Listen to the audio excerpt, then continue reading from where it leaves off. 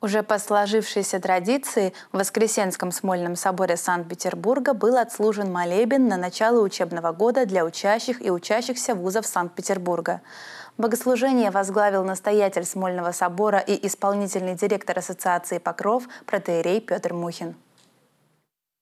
Сегодня, вступая в начало нового учебного года, пусть у каждого из нас в нашем сердце откликнется обращение к Богу, в котором будет прежде всего «Боже, научи меня так, чтобы в благоразумии, в благом разумении бытия и всего, что меня окружает, и всего, что мне будет открываться, будет в моем сердце прилагаться созидание в любви, добродетели, милости, твердой вере и в служении Богу и человеку. И вот тогда и произойдет то настоящее главное в нашей жизни.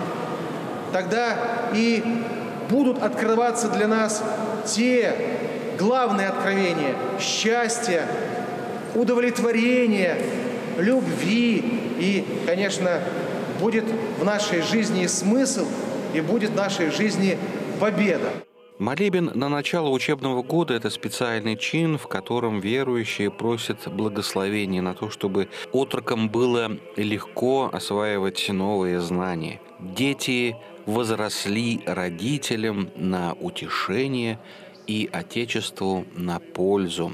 Да преуспеем в разуме и исполнении заповедей Твоих, да тако предуготование прославим Пресвятое имя Твое, и будем наследницы Царствия Твоего, яко Ты есть Бог силен милости и благ крепости, Тебе подобает всякая слава, честь и поклонение Отцу и Сыну и Святому Духу, ныне и присно веки веков. Аминь. Молебны в преддверии нового учебного года – это не нововведение. Подобная традиция существовала еще в дореволюционной России – в службу включены прошения и об учителях. Явите им премудрости и добродетельным житием благ, достояние в православной вере, радости, утешения родителям своим и церкви православных и фаллически утверждений Господу. Помолимся. С момента освящения Воскресенский Смольный собор назван храмом всех учебных заведений.